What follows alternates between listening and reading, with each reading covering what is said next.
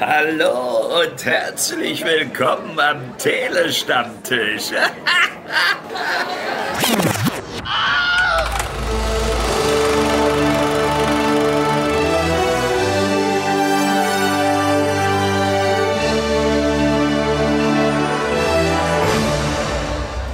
Hallo und herzlich willkommen zur Besprechung des Films The Art of Love.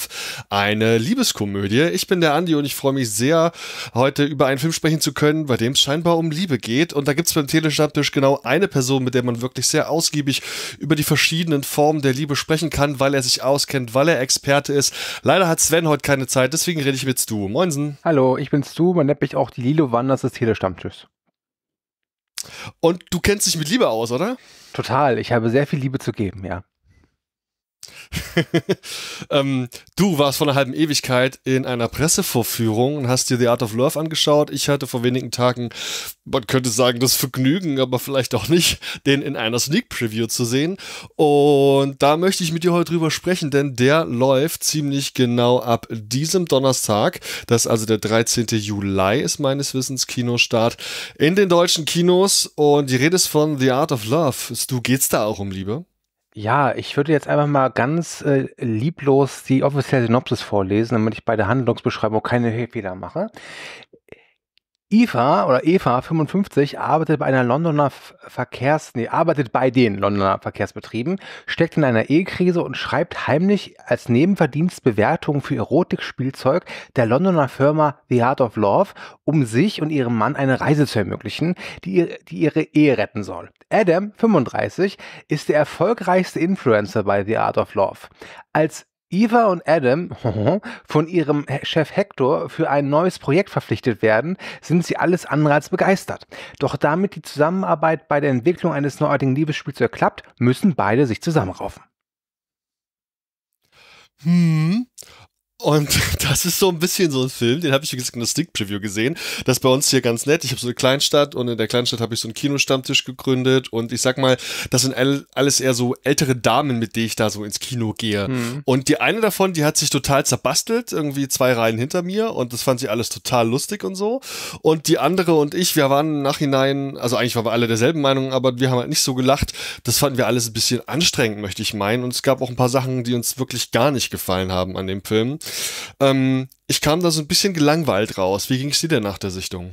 Ja, auch. Also ich fand ihn jetzt nicht schrecklich, aber äh, für das, was er eigentlich erzählt, ist er zum einen wirklich sehr, sehr brav, äh, auch sehr vorhersehbar.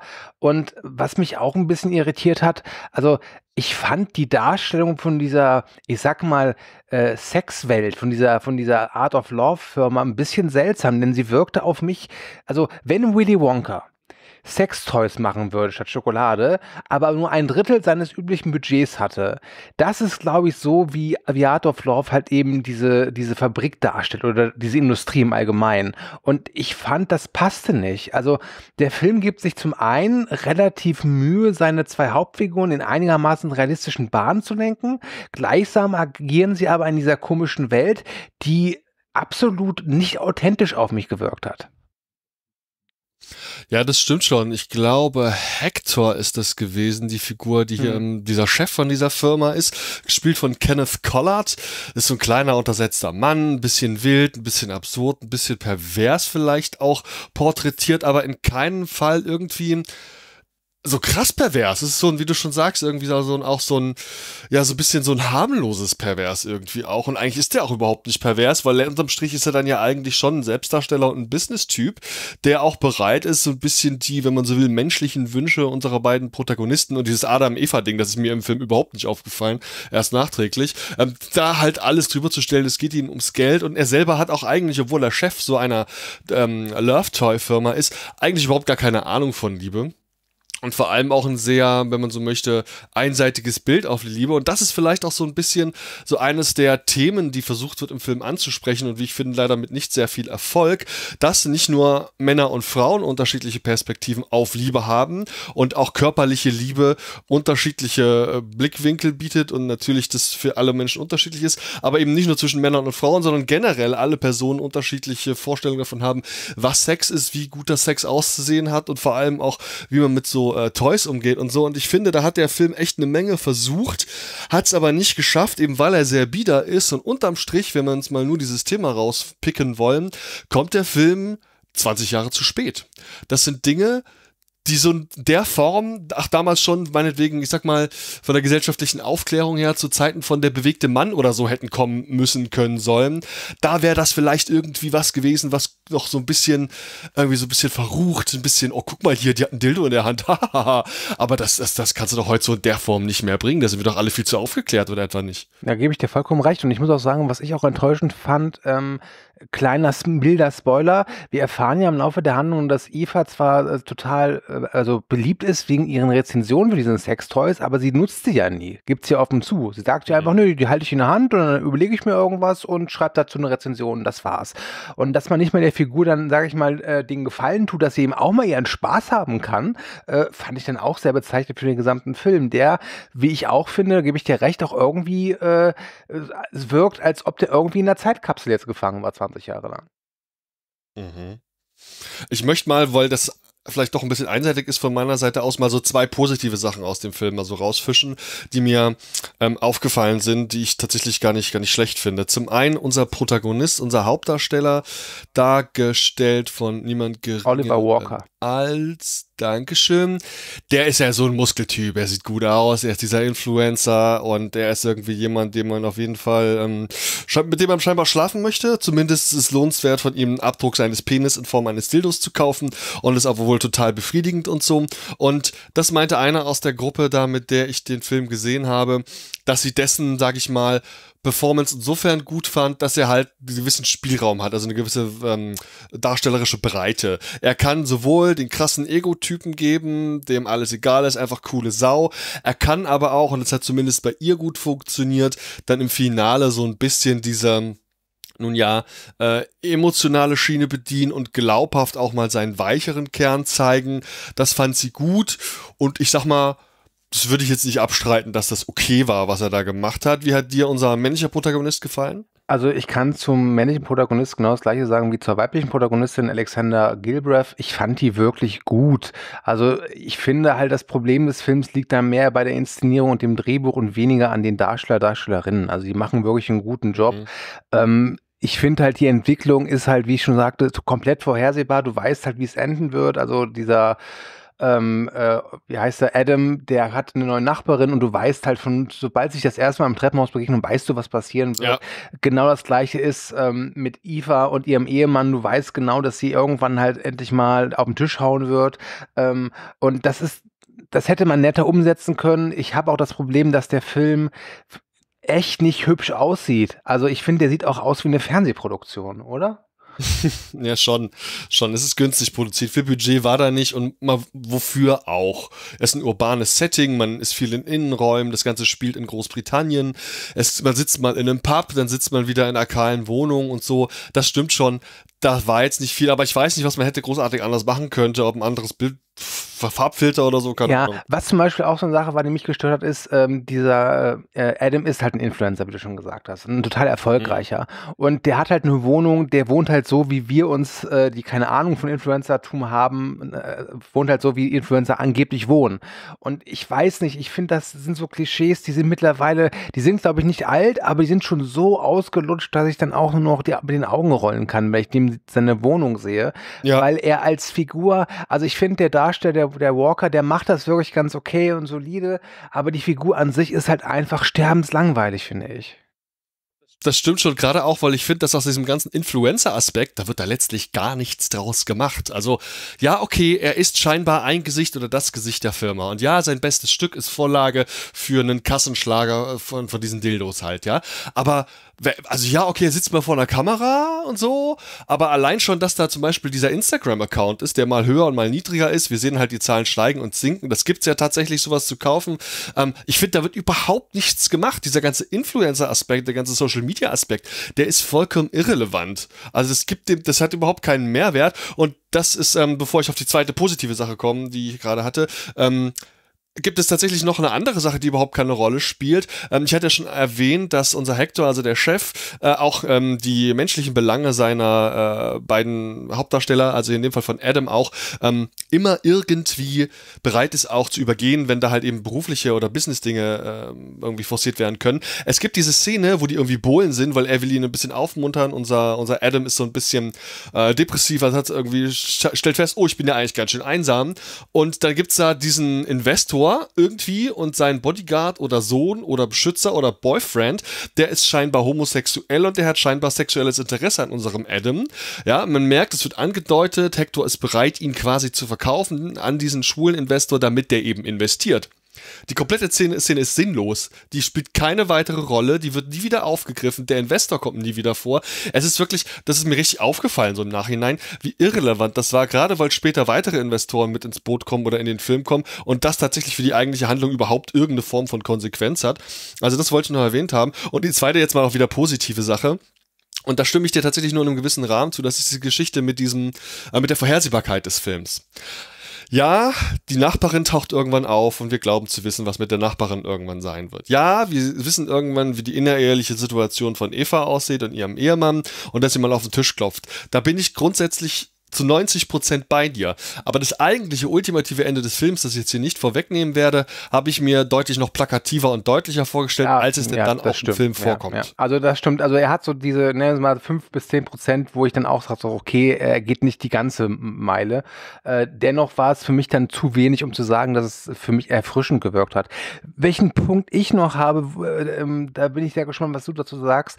Äh, Hector hat ja auch äh, mit dem Thema künstliche Intelligenz und äh, ich nenne es mal Robotik zu tun. Ähm, das ist auch eine Thematik, die der Film so, so aus dem Nichts auspackt ähm, und dann im, vor allem im letzten Drittel dann also eine Gewichtung hinzufügt, wo ich dachte, eigentlich ist mir das vollkommen egal, weil für mich ging es halt die ganze Zeit um äh, Adam und Eva und ihr Leben und jetzt nicht um die Zukunft des Sextoys und die Frage, wie gut oder wie schlecht ist eine KI für uns Menschen und unsere Sexualität und unser Liebesleben. Ähm, ich fand, dass der Film echt ein Problem hatte, so einen richtigen Fokus zu finden. Und das kann man auch sehr gut sehen an der Figur des Hector, der halt eingeführt wird als netter Comic Relief Charakter, der dann, du hast schon gesagt, dann irgendwann auch mal ein richtiges Arschloch wird und äh, dann auch hatte ich teilweise dann das Gefühl, auch versucht wird, zu so einer Art Schurke aufzubauen, was aber sie auch nicht komplett machen. Und das war für mich so ein Paradebeispiel für eines der ganz großen Probleme des Films, nämlich dieser diffuse Fokus. Ich hatte irgendwie nicht das Gefühl, dass ich, als der Film zu Ende war, gewusst habe, so, okay, dieser Film wollte mir das und das genau vermitteln. Ich hatte das Gefühl, da steckten viele einzelne Ideen drin, ein paar größer, ein paar kleiner, aber das Gesamtkonzept an sich war komplett diffus, war zumindest meine Aufnahme, äh, Wahrnehmung. Das stimmt schon. Also ob die DrehbuchautorInnen so ein bisschen das Gefühl gehabt hätten, sie müssten jetzt irgendwie eine Handvoll tolle, wichtige Szenen reinbringen und versuchen es irgendwie mit Sex und Sextoys und Liebe zu verbinden, aber so einen richtig stringenten roten Faden und auch eine kohärente, ja einfach dann Charakterzusammenstellung dann auch und ja, das, da bin ich ganz bei dir. Da war sicherlich viel wirres Zeug drin, ähm, was so ein bisschen auch mein Gesamteindruck des Films irgendwie ist. Ist bisschen wirr, will vielleicht ein bisschen viel, kann dann aber effektiv viel zu wenig. Da äh, tue ich mich da tatsächlich auch schwer, so ein bisschen sowas wie eine Zielgruppe des Films auszumachen. Wir hatten im Vorgespräch kurz drüber gesprochen, dass wir uns nicht ganz im Klaren sind, warum der jetzt überhaupt ins Kino kommt. Denn wer soll den gucken? Warum zeigt man sowas in der Sneak Preview? Und ich weiß nicht, wir haben ja zum Beispiel diese Rosamunde Pilcher-Szenen so ein bisschen am Ende. Also zumindest was die Location angeht.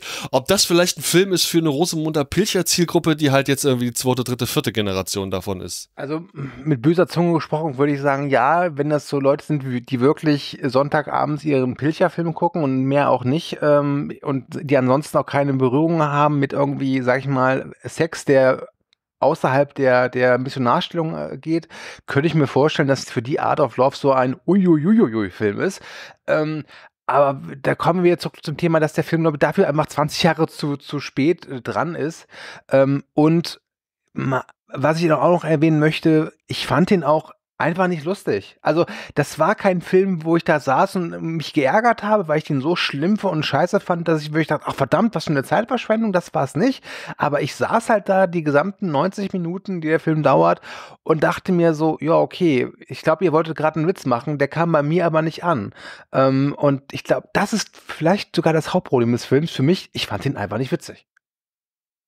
Ja, ich stimme dir zu. Da war viel Szenen, viele Szenen dabei, von denen man denkt, okay, die waren jetzt hier gemacht, um lustig zu sein. Du hast den Comic Relief Momente hast du erwähnt. Wir haben natürlich relativ explizite Momente auch, die so ein bisschen, oh, guck mal, ein Po. Oh, oh die ja. haben Sex, aber das ist halt alles nicht so, nicht so, nicht so lustig, lustig. Ich habe genau eine Szene im Kopf, da habe ich gelacht, die war, aber ich glaube im Nachhinein, dass ich den Witz schon mal woanders gehört habe. Insofern ich bin ich einfach einfach simple minded, aber hey, einmal, da habe ich in den 90 Minuten gelacht. Was für eine Komödie halt schon so ein bisschen traurig ist einfach auch, ne? Ja. ja. Ich muss sagen, ich so habe jetzt zur Vorbereitung noch mal ein paar Bilder zum Film gesehen, weil wie gesagt, meine Sichtung ist jetzt schon ein paar Wochen, ich glaube sogar zwei, drei Monate her. Äh, und ich fand dann Bilder, hab Bilder gefunden und dachte mir, ach, das Bild an sich sieht witzig aus, wenn Eva halt eben mit so einer goldenen Dildo-Kanone da sitzt. Das ist einfach ein lustiges Bild. Aber ich weiß, im Kino, also als der Film dann lief, bewegt bildtechnisch, war der Witz dann irgendwie da nicht mehr so produktiv, nenne ich es mal.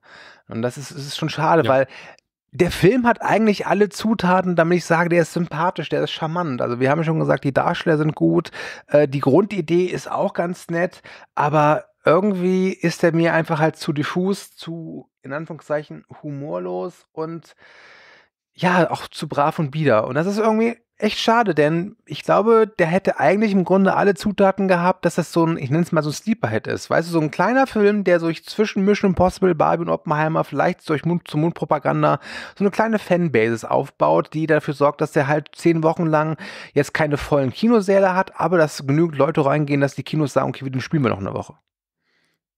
Ja, da bin ich bei dir. Lieber du, das klingt auch tatsächlich schon so ein bisschen wie so ein Fazit zu dem Film.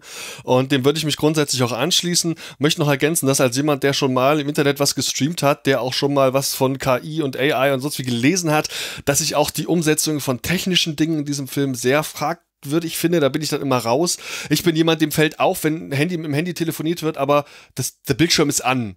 Das fällt mir halt auf. Weißt du, weil der ist nicht an, wenn du telefonierst. Achtet mal, der geht dann aus, wenn du es an deinen Kopf dran hältst. Oder hier eben im konkreten Fall geht es um die, natürlich ja auch ähm, so Virtual Reality Anzugmäßig und so und auch wieder später, äh, künstliche Intelligenzen spielt hier, wie gesagt, punktuell eine Rolle. Das ist alles nicht so, wie das in diesem Film dargestellt wird und das reißt mich dann halt raus, wenn auch nicht mal die technische Darstellung so funktioniert.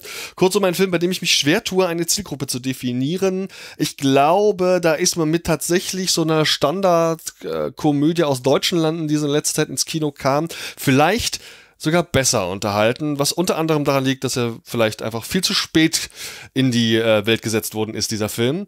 Lieber Stu, wie sind deine finalen Worte zum Film The Art of Love? Äh, meine finalen Worte sind, ich kann diesen Film jetzt nicht sagen, dass ich ihn ganz, ganz furchtbar fand, aber ich finde, das ist ein Film, den, der gehört zum einen nicht ins Kino, der sieht aus wie Fernsehen und wenn er mal im Fernsehen läuft, dann kann man sich den gerne mal ansehen, weil er tut nicht weh, aber ansonsten äh, bin ich, also das, was mich einem Film fasziniert, ist, dass er ins Kino kommt. Das ist das Einzige, was ich faszinierend und interessant wirklich finde. Und das ist leider ein eher vernichtendes Fazit, aber so sieht es halt einfach aus. So sieht's halt einfach aus. Wenn ihr noch ein paar andere Infos von uns haben wollt, zum Beispiel wie wir aussehen, das ist ein Hinweis, den kriegt ihr auf tele-stammtisch.de. Ihr könnt auch mal in andere Podcasts reinhören. Wir haben zuletzt viele tolle Sachen veröffentlicht. Unter anderem auch von dir gibt's jede Menge Sachen beim Tele-Stammtisch zu hören. Du, was war so mit so dein Podcast-Highlight bei unseren Aufzeichnungen zuletzt? Ähm, oh, äh, also der Retrospektivencast von Mission Impossible war natürlich ein großer Spaß, weil ich da in den ersten 20 Minuten, glaube ich, gefühlt 80 Mal das Wort Brüste sagen konnte.